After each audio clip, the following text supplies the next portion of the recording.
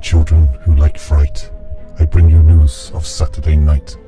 A party filled with ghosts and ghouls, with drink and dance and unlimited food. Dress demonic and bring a scare. I'm sorry, did I mess your hair?